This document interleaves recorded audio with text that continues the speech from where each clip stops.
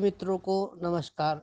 जैसा कि आज राहु पर चर्चा हो रही है कुंडली में राहु के प्रभाव से शौर्य, साहस, मोटापा, पहलवानी पाप कर्म दुख, चिंता, संकट का अध्ययन किया जाता है। वैसे यह ग्रह निर्धनों के सहायक रहनुमा प्रग्रह है, जिसकी सहायता पर यह आ जाता है। अंतिम समय तक उसकी सहायता करता है। सब उसके आगे नतमस्तक हो जाते हैं। यदि वह शनि के साथ हो तो सांप के मणके जैसा प्रभाव होता है। मंगल के बिना राहु बिगड़ा हुआ हाथी होगा, अर्थात यदि मंगल के साथ या साथी हो तो राहु शांत रहेगा। सूर्य और शनि, राहु स्वभाव दोनों इकट्ठे एक घर में बैठे अच्छे नहीं होते, उल्टे दोनों के मिलने से मंगल बद हो जाता है। नीच राहु के समय दक्षिण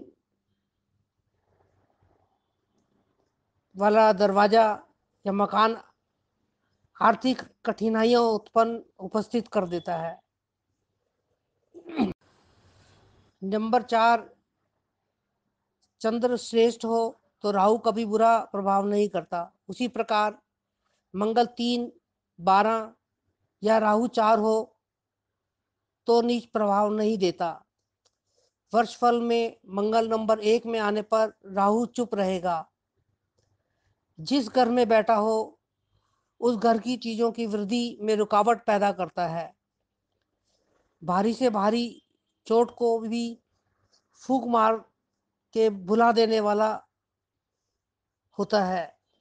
बृहस्पति के घरों में दो पाँच नौ बारह या बृहस्पति के साथ बैठा हो तो बृहस्पति को दमा कर दे, कोड़ी बना दे। सूर्य के साथ न केवल उस पर बलिक साथ वाले घर के हाल भी खस्ता कर देता है। भाव नंबर एक में सूर्य को ग्रहण दस में शकी होता है। ग्यारह में पिता या गुरु को रुला दे। तीन में रक्षक, चार में ठीक, पाँच में गर्भ गर्भपात तक करवा देता है। छह में भी राहु ठीक रहता है। केवल लक्ष्मी के, सातवें में केवल लक्ष्मी का धुआँ निकाल देता है। आठवें में मौत का नगाड़ा बजा देता है और नौवें में जातक को धर्महीन कर देता है।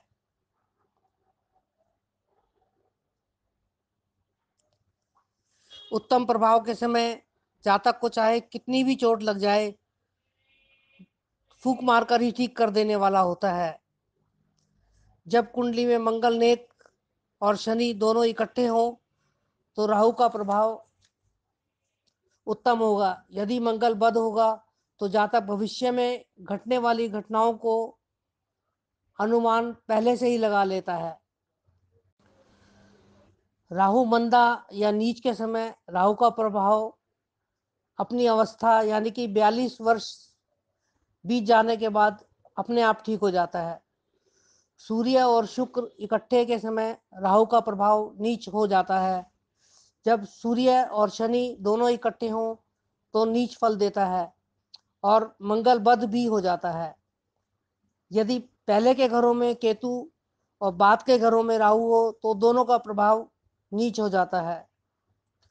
सूर्य के साथ होने पर केवल सूर्य वाले पर, सूर्य वाले घर का प्रभाव नीच होगा। अपितु साथ वाले घर का प्रभाव भी नीच हो जाएगा। उपाय के तौर पर नीच राहु के समय चंद्र की सहायता ली जा सकती है। बीमारी के समय मसर की दाल दली हुई। रुपया पैसा तीन दिन भंगी को देते रहे। अपने भार के वज़न बराबर जौ या कोई अनाज बहते पानी में बहाए राज दरबारी झगड़े हों तो अपने भार के बराबर कच्चे कोयले बहते पानी में बहाए जो रात को भिगोकर सिराने रखे और प्रात जान सुबह होते ही जानवरों को डाल दे।